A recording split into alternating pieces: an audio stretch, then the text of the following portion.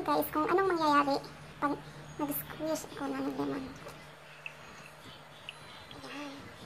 It's magic.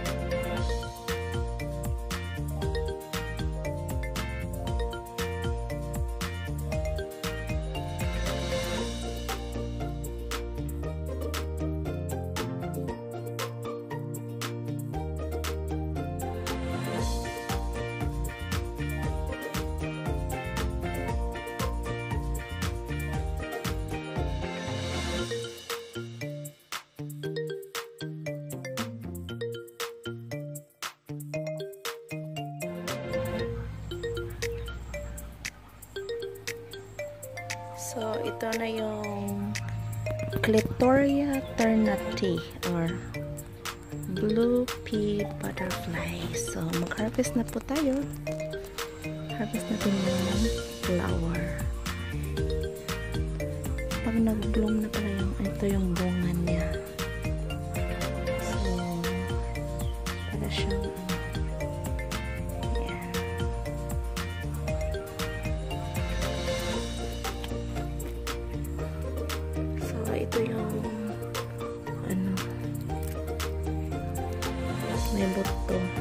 Yan.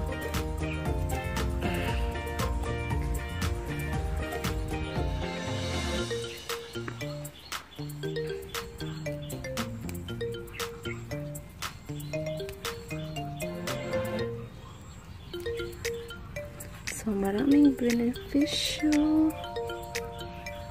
Daming bulaklak.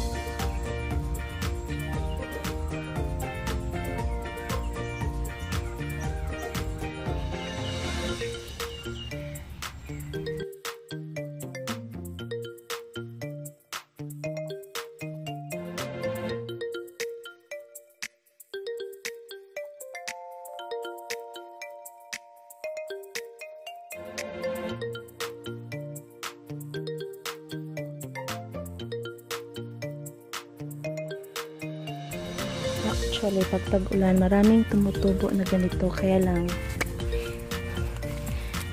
ano, isa lang yung pinasurvive ko. So, ito na po yung har na-harvest natin na Clitoria ternati or blue butterfly pea. Butterfly pea.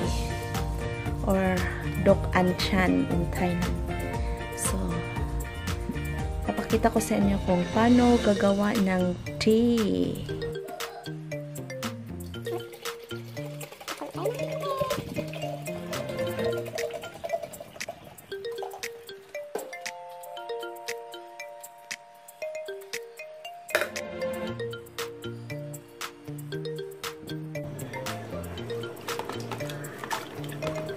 So, habang tayo ay naghihintay sa makulong tubig, hugasan natin yung flour. Tingnan mo yung water, di ba? Nag-blow na.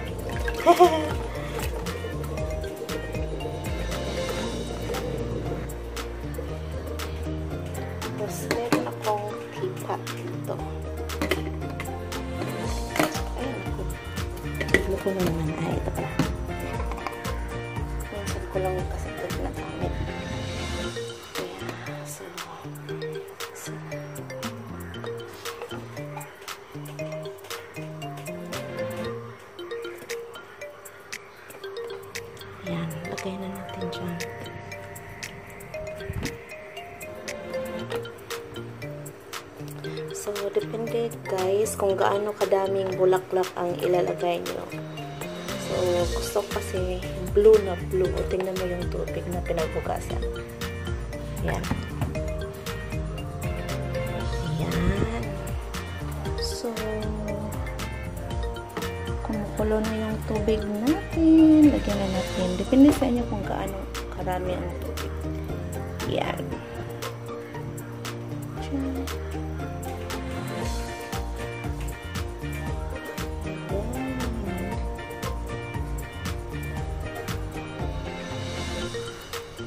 Ayan. Tapos kung gusto niyo na dark na dark yung ano kulay, dark blue. So, ibabad niyo lang yan ng mga 5 to 10 minutes. And then, pwede nang inumin. Ayan. Diba? Kakalagay ko lang ng hot water. Nag-blue na siya. Amazing! Okay. So, i-ano natin siya ng 5 to 10 minutes.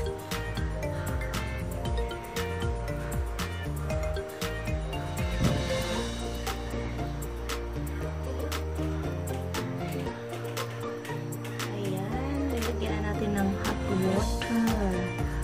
So, ayan. Ibabad lang natin ng ano, ito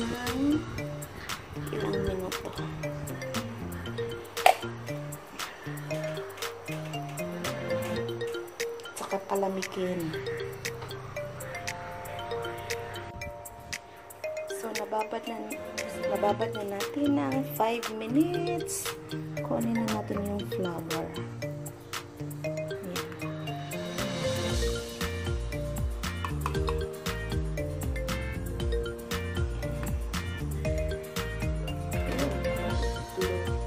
Tapos,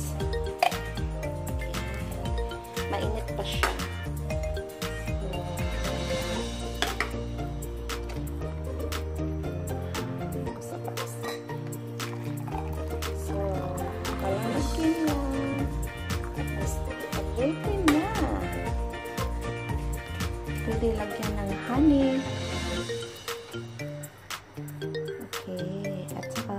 Lime. Lime juice or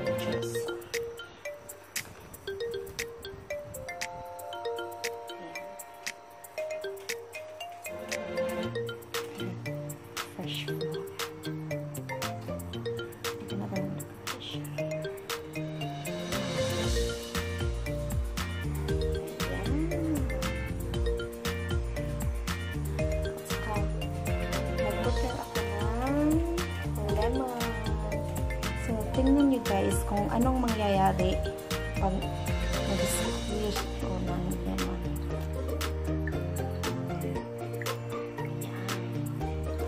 It's magic.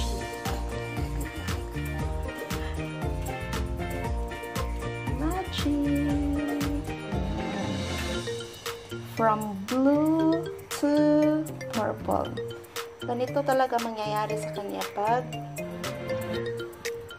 nahaluan ng acid yung tea natin.